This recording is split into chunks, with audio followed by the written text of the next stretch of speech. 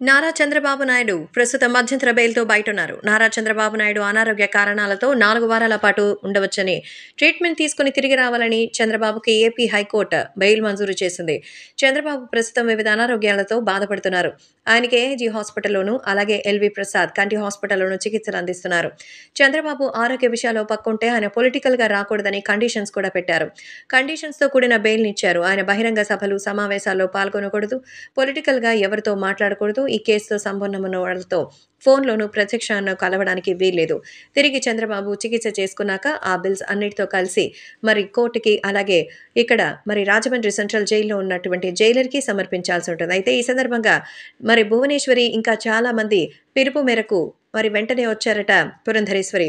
నారా పురంధరి నారా వారి చంద్రబాబుని కలవడానికి పురంధరేశ్వరి కొద్దిసేపటి క్రితమే ఉండవల్లిలోని తన నివాసానికి వెళ్ళినట్టుగా తెలుస్తోంది.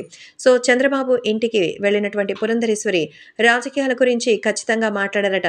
మొదటిగా తన అర్థ అక్క భర్త అయినటువంటి చంద్రబాబుని పలకరించి తన ఆరోగ్య విషయాలు కూడా తెలుసుకున్నారు.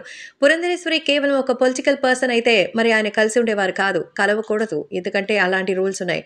కానీ పురంధరేశ్వరి తన స్వయాన మరి ఎంతో చక్కగా కుటుంబ సభ్యురాలు కాబట్టే ఇప్పుడు చంద్రబాబు ఆహ్వానం ఆమెకు లభించింది. సో చంద్రబాబు మరి పురంధరేశ్వరి కలిసి రాజకీయాల గురించే మాట్లాడుకున్నారు.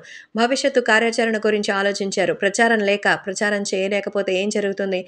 ఈ నలభై మూడు రోజుల తర్వాత మళ్ళీ మరి జైలుకి వెళ్తే పరిస్థితి ఏంటి? తెలుగుదేశం పార్టీ గురించి ఏం చేయాలో అర్థం కావడం లేదంటూ పురంధరేశ్వరికి చెప్పగా సరైనటువంటి నాయకుడిని దించి ఖచ్చితంగా ప్రచారాలు చేస్తే బాగుంటుందని ఈ సందర్భంగా పురంధరేశ్వరి సూచించినట్టుగా తెలుస్తోంది. మరి అంతేకాకుండా బెయిల్కి సంబంధించిన విషయంలో పర్మనెంట్గా తీసుకోవడానికి కేంద్రంలోని పెద్దలతో కూడా మాట్లాడతానని హామీ ఇచ్చారట. ఇప్పుడు పురంధరేశ్వరి చెప్పినందుకే ఇప్పుడు బెయిల్ కూడా మంజూరైందని ఒక టాక్ కూడా ఉంది.